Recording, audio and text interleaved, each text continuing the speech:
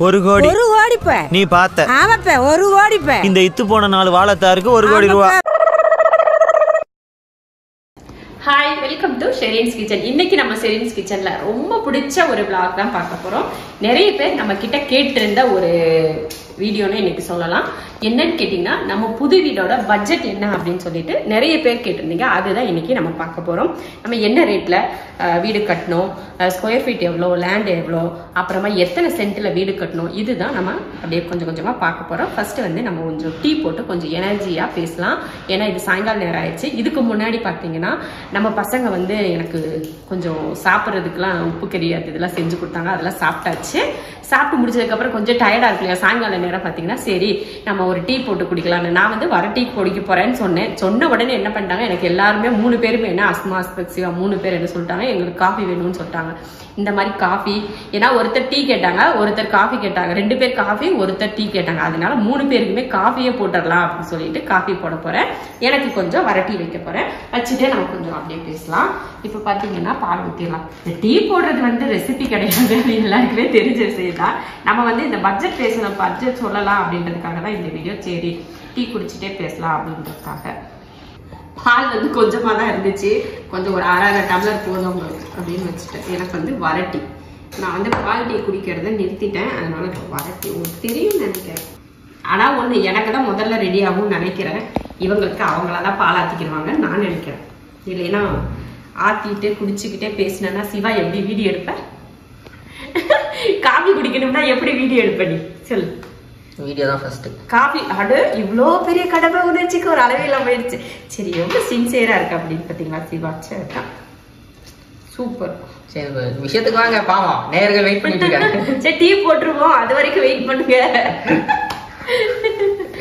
அப்படியே கண்டினியூ பண்ணிட்டே போனா தான் எங்களை மாதிரி வியூவர்ஸ்க்கும் கொஞ்சம் நம்ம வந்து இப்ப வீடு கட்டுறது பாத்தீங்கன்னா கட்டினது பாத்தீங்கன்னா மூன்றரை சென்ட் இடத்துல நம்ம வீடு கட்டினோம். முப்பதுக்கு ஐம்பது சென்ட் இந்த நம்ம லேண்ட் ஏரியா வந்து முப்பதுக்கு ஐம்பது.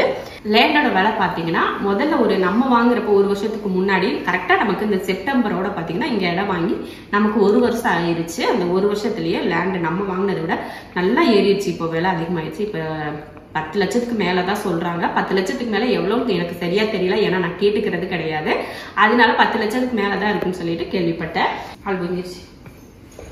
பால் வந்து பொங்கிருச்சு. ட்விஸ்ட் வச்சுட்டு போறீங்களே? மூன்று சென்ட்டோட நிக்குது. ஓ, இதுதான் உங்க ட்விஸ்டா. இந்த தொடரும் அப்படின்னு போடுவாங்களே. அந்த- அந்த மாதிரி போட்ட மாதிரி இல்ல இருக்கு. இப்ப பால் வந்து ரொம்ப நேரம் கொதிச்சிருச்சுன்னா காபிக்கு வந்து நல்லா இருக்காது இல்லையா? அதனாலதான் இந்த பசங்க அப்படி வேணான்னு சொன்னாலும் காபி எங்களுக்கு வேணுமே வேணுமேன்னு கேக்குறாங்க. அப்ப நான் என்னதான் பண்றது? ஏதாவது ஒண்ணுதானே பண்ணணும். இப்ப காஃபி ஆத்தி கொடுத்துடலாம். அஸ்மா ஹெல்ப் பண்ணலாம்ல அஸ்மா? என்ன ஹெல்ப் வா காஃபி தூள் சக்கரை எல்லாத்தையும் எடுத்து கொடு டம்ளர் எடுத்து கொடு. அந்த யூஸ் கப் எடுத்துட்டு வா. ஏதாவது தொடச்சு கிடச்சி எடுத்து வச்சிருக்கேன். நிறைய ஊழையிடுது சரி இதை எடுத்துட்டு வாடா சரி சரி, வடிகட்டி எடுத்துட்டு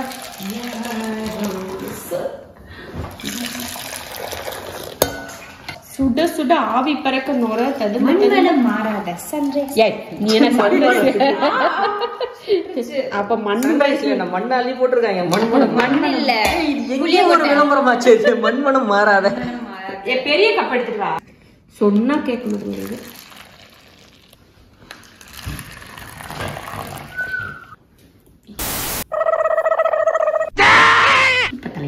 கொஞ்சம் அடியில் ஆத்தல சரி என்ன சொன்னேன்? மூன்றரை சென்ட் லேண்ட் வந்து மூன்றரை சென்ட்னு சொன்னேன். நீளம் வந்து ஐம்பது அகலம் வந்து முப்பது. இதுதான் நம்ம இடத்தோட அளவு. அப்புறமா பார்த்தீங்கன்னா எத்தனை ஸ்கொயர் ஃபீட்ல நம்ம வீடு கட்டியிருக்கோம் அப்படின்னு கேட்டிங்கன்னா ரெண்டாயிரத்தி முந்நூறு ஸ்கொயர் ஃபீட்ல நம்ம வீடு கட்டியிருக்கோம். கீழே வந்து ஒரு கார் பார்க்கிங் அப்புறம் கார்டன் ஏரியா ஹால் அப்புறம் பெட்ரூம் வந்து மூணு பெட்ரூம் ஒரு கிச்சன் மேலே ஒரு ஒரு லிவிங் ஏரியா பால்கனி இந்த மாதிரி நம்ம வந்து வீடு கட்டியிருக்கோம். நம்ம பார்த்தீங்கன்னா மொத்தமே கவர் பண்ணிட்டோம். கொஞ்சம் ஒரு கார்டனுக்கு இருக்கு பார்த்தீங்களா அந்த ஏரியா மட்டும்தான் நம்ம எம்டியாக விட்டுருக்கோம். மற்ற எல்லாத்துலேயுமே நம்ம கவர் பண்ணி தான் வீடு கட்டியிருக்கோம்.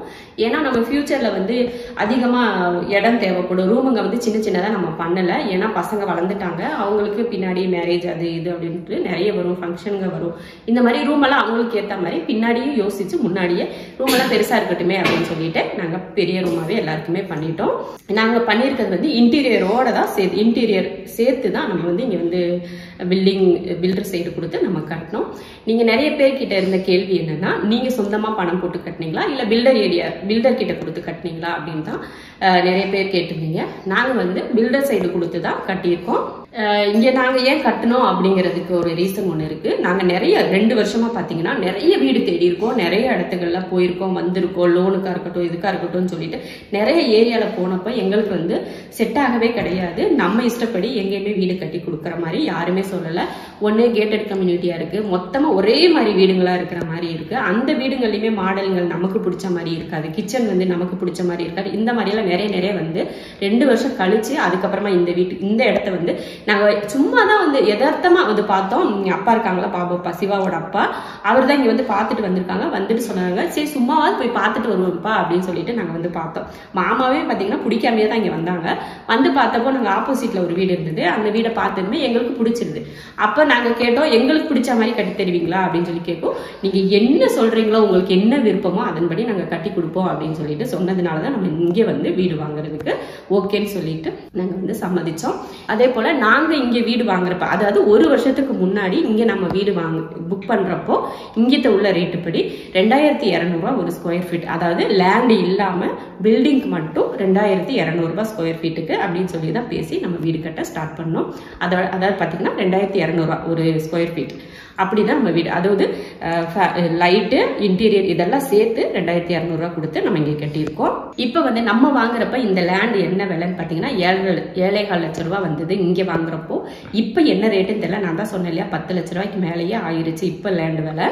நம்ம வாங்குறப்ப பார்த்தீங்கன்னா நம்ம ஏழரை லட்சத்துக்கு வாங்கணும். அதே போல் மூன்றரை லட்சம் மூன்றரை சென்ட்டுக்கு பார்த்தீங்கன்னா லேண்டு மட்டும் இருபத்தஞ்சு லட்சத்துக்கு இருபத்தஞ்சு இருபத்தாறு கிட்ட வந்துருச்சு. அதில் ரெஜிஸ்ட்ரேஷனும் தனி. நமக்கு வந்து ரெஜிஸ்ட்ரேஷன் வீட்டுக்கும் சேர்த்து தான் ரெஜிஸ்ட்ரேஷன் பண்ணோம். ஏன்னா நம்ம பேங்க் லோன் போனோம் இல்லையா? அதுக்கெல்லாம் சேர்த்து ஒரு லட்சத்தி இருபத்தஞ்சாயிரம் ரூபாய் ரெஜிஸ்ட்ரேஷன் செலவு வந்துச்சு.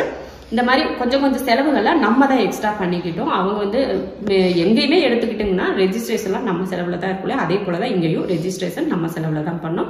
அப்புறம் மூணு பெட்ரூமே பார்த்தீங்கன்னா பதின பத்துக்கு பதினாறு சைஸில் மூணு பெட்ரூமே கொடுத்துரும் அட்டாச்சு டாய்லெட் பாத்ரூமோட மூணு பெட்ரூமுமே ஹால் வந்து பார்த்தீங்கன்னா பதினாறுக்கு பதினாறு. அதே போல் கிச்சனும் அதே சைஸில் தான் பதினாறு பதினாறு கொடுத்துட்டோம். நாங்கள் வந்து அவுட்ரு பாத்ரூம் டாய்லெட் போடலை. ஏன்னா நம்ம வீட்டுக்கு நாங்கள் முன்னாடி யோசிச்சது என்னன்னா நம்ம வீட்டுக்கு கெஸ்ட் எல்லாம் யார் வர்றாங்க அப்படின்ற மாதிரி தான் நாங்கள் யோசிச்சோம். அதனால எங்களுக்கு வெளியில எல்லாம் எதுவும் வேண்டாம் அப்படின்னு சொல்லிட்டோம்.